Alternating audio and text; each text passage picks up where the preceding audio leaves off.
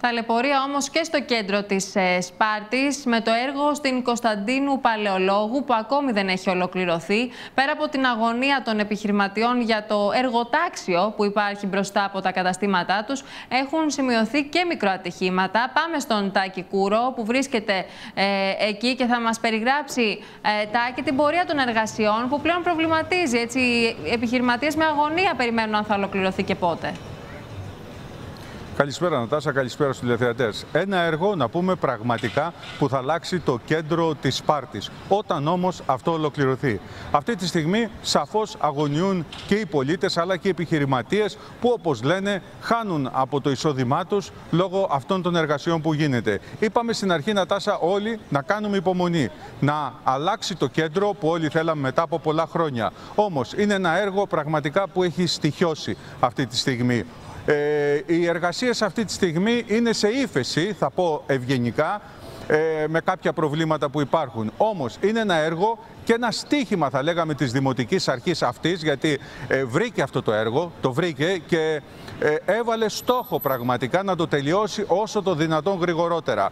Ε, πήρε απάνω της όλα τα προβλήματα για να τελειώσει το έργο και έτσι έπρεπε να γίνει γιατί όπως ξέρουμε η διοίκηση και ειδικά στους Δήμους συνεχίζεται και έτσι εφόσον βρήκε αυτό το έργο έπρεπε να το τελειώσει και πρέπει να το τελειώσει πάση θυσία. Όπως είπες όμως και εσύ σε αυτό το έργο που αυτή τη στιγμή σε πάρα πάρα πολλά σημεία είναι ένα φύλακτο έργο, ένα εργοτάξιο που μπαίνει ο κόσμος, περνάει. Θα ήθελα να στρίψει και η κάμερα, να δείξει αυτή τη στιγμή και ο κόσμος που περνάει, διασχίζει το έργο, έχουν πέσει κάποιες σημάνσεις με αποτέλεσμα ο κόσμος για να προσπαθήσει να κινηθεί πιο εύκολα εντός του έργου και να διασχίσει τον κεντρικό δρόμο έχουν υπάρξει ατυχήματα. Ένα ατύχημα μάλιστα ε, ε, εχθές αν δεν κάνω λάθος με ένα συμπολίτη μας. Έτσι λοιπόν νομίζω ότι και ο εργολάβος από τη μεριά του ό,τι και αν έχει γίνει πρέπει να φυλά, να έχει εξασφαλίσει αυτό το έργο όσον αφορά την ασφάλεια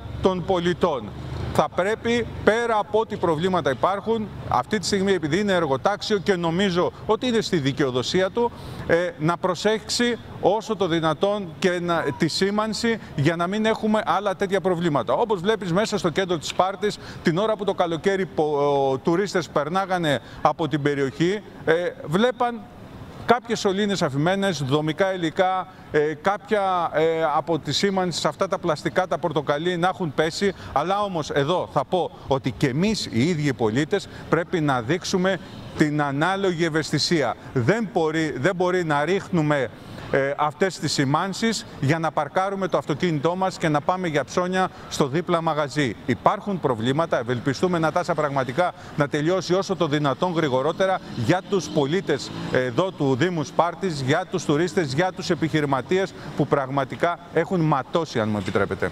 Τάκη, να σε ευχαριστήσουμε πάρα πολύ. Η εικόνα μιλά νομίζω από μόνη της. Σα ελπίσουμε ότι θα ολοκληρωθεί ε, μέσα στο 24, όπως άλλωστε προβλέπεται το συγκεκριμένο συγκεκριμένο έργο και δεν θα πάρει έτσι κι άλλες ε, παρατάσεις.